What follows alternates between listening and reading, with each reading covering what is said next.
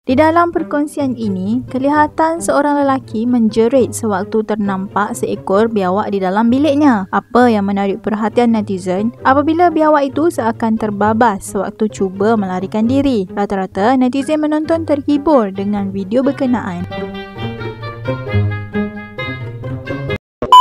How ingot biawak tak boleh main drifting.